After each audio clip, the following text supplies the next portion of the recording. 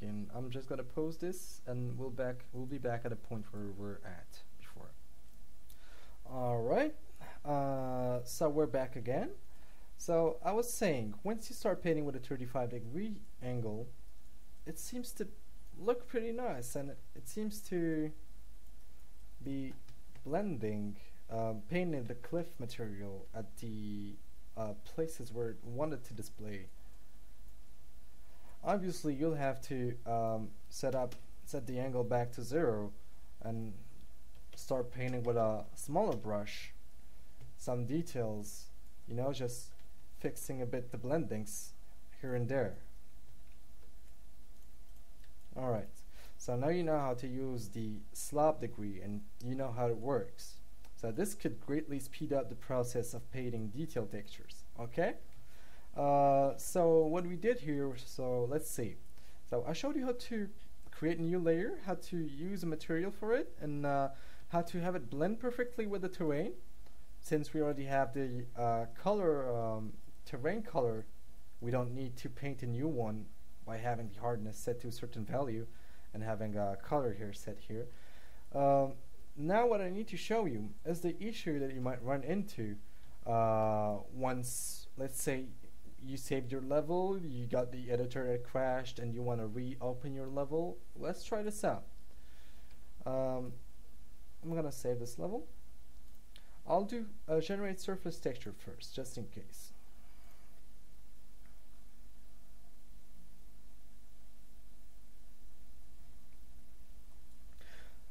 Save. And we're going to rerun the editor.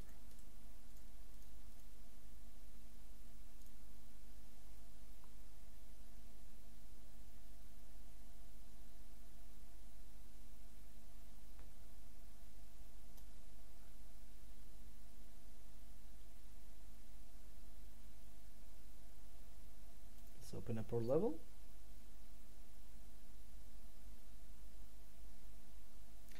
And there it is. Now the first thing that you notice is that the texture, the material, got all bright. The changes that we made to our material, if you remember properly, we darkened our material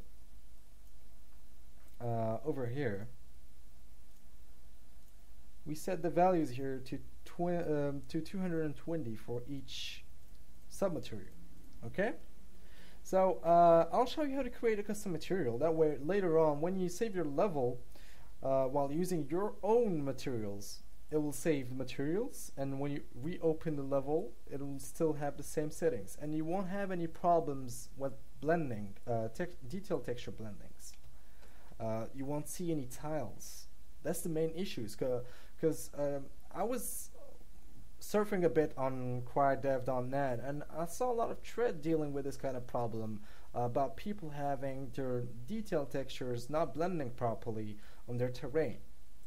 So the tip for that, like I showed you earlier, is to paint your layers while having a hardness of zero, assuming you already have a color map that has been done um, the way I did in the tutorial, and uh, painting your cliff material with a yeah, hardness of zero, and uh, painting your layer, we're having um, grayscale col color texture.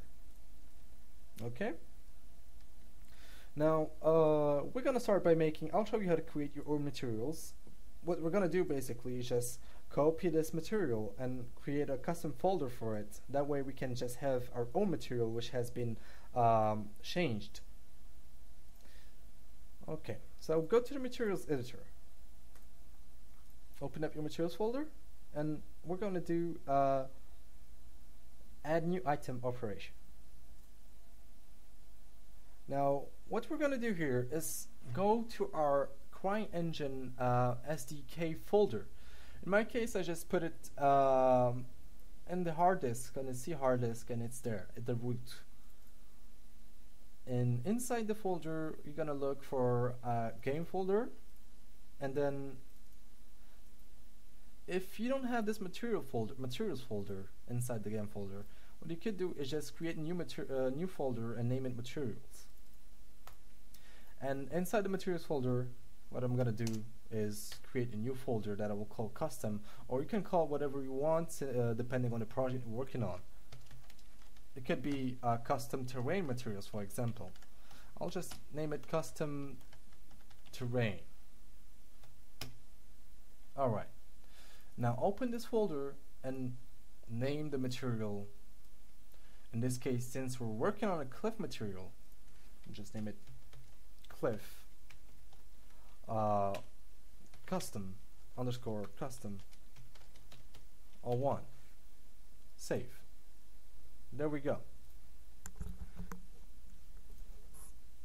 Now what you need to do is um, set it up that way so that it can project a texture in a tree axis. Um, or what we could do, it is an even simpler way and probably the fastest way, is just copy this original material, select your custom terrain folder, and paste it. And rename this. Uh, I'll just rename it O2. Saved. And there it is. It came, it is the exact same material. Now all you gotta do is apply this material to our layer, which is here. Remember to save your material first as well. Save item. Now select your layer and assign material. And to make sure that it is all working properly, all you gotta do is switch some values. Whoops. Terrain material disappeared.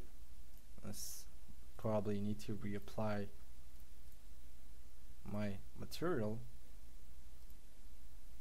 And there it is. Disappeared randomly.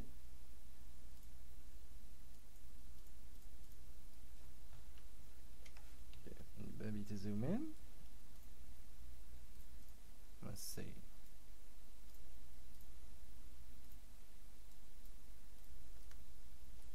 Probably need to repaint the layer, maybe. There we go. We're running into some issues already, and we'll try to find a solution for these issues.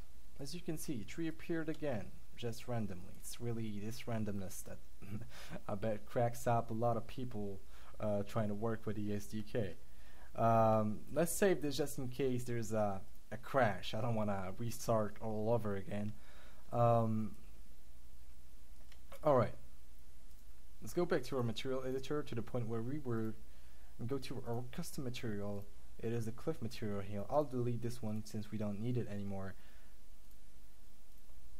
Alright. Let's see. Modifying the material Okay. Uh, for some reason, or never mind, never mind.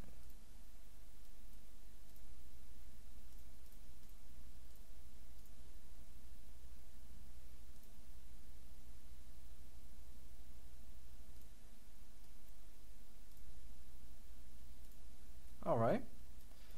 So basically what I did here I'm going to save again since it's not displaying properly and I probably need to do a generate surface texture just in case. I'll just use a 2048 by 2048 at low quality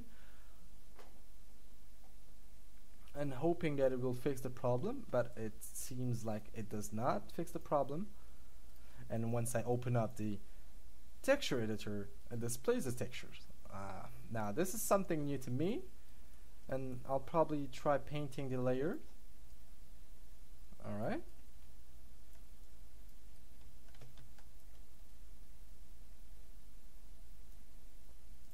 save it again.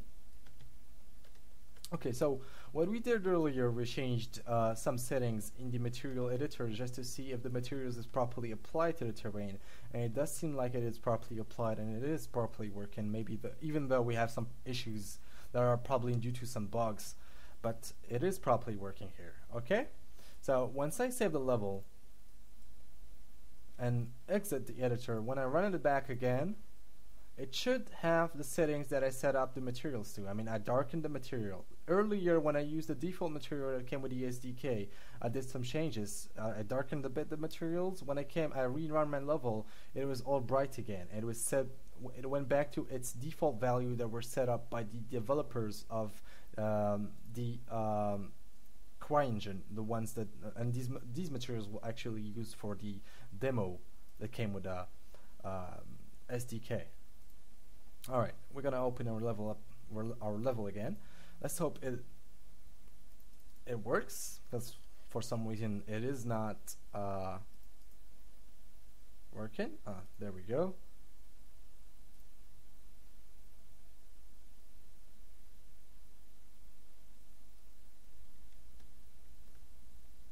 Okay, so uh, we meet some issues here again, random issues, probably because we didn't, maybe it's not that random, maybe there is a, a good solution for that, and probably because I didn't do a generate surface texture and saved my terrain. So in order to fix this problem, like I showed you earlier, is re-import your color texture again.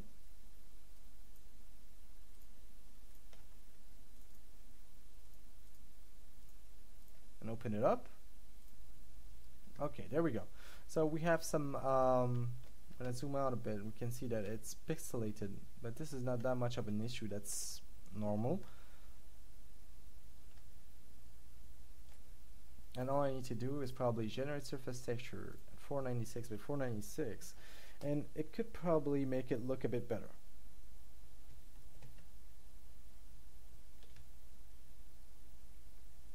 Alright. It is probably it is working better. We have a 3D texture here. We we created a custom 3D texture in our custom folder. We saved its, its settings and it's saved with the level. So every time I rerun the level, another generate texture just in case, and save the level, and uh, we're gonna restart the editor and see if there are any more issues.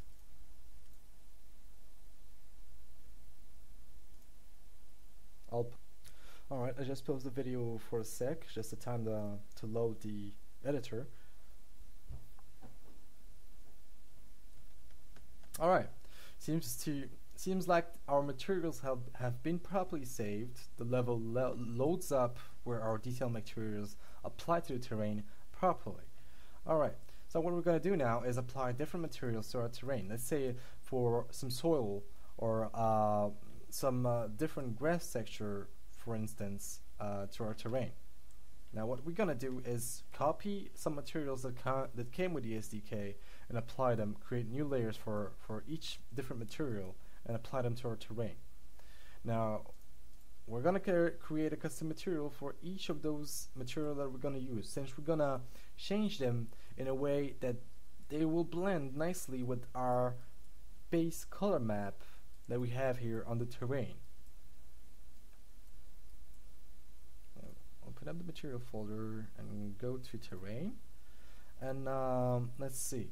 We probably want to use this ground earth village leaves uh, material. So we're gonna copy this material go to our custom terrain folder select it and do a paste. And we'll have to set up again where it is going to be saved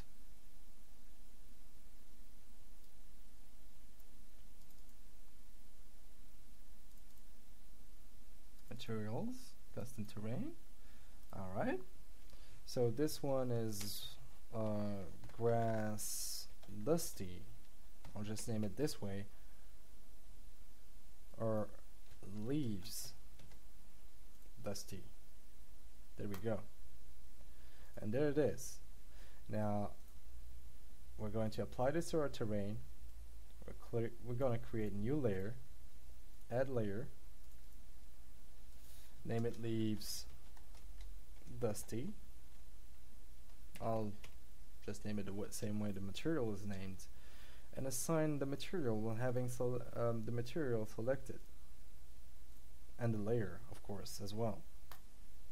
And there you have it. Change the texture to 128 underscore gray one just to make sure it's working properly to avoid any issues in the future. Alright now um, save it as well. I'm gonna save the level too. Yeah, I need to be really careful when working with this kind of operations because it is very unstable and might crash just randomly because you just didn't follow uh, the steps how it was designed by the um, developer. This is why usually you'd get a crash. and it is not normal. It is not supposed to be working that way if you were uh, look at it as uh, a user's point of view. Okay, let's start. Let's try painting this layer that we just added. Now remember to turn down the hardness to zero.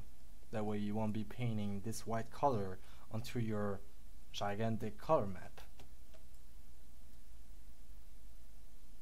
As you can see, it is painting detailed texture, but it is tiled too much. So it doesn't look the way we want it to.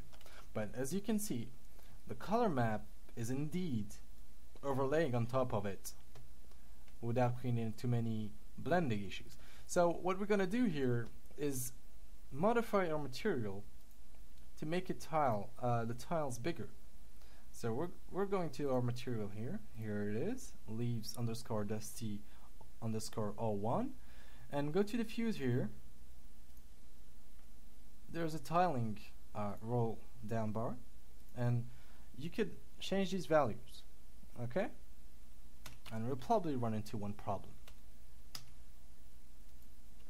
As you can see, the tiling isn't changing the way we wanting it to.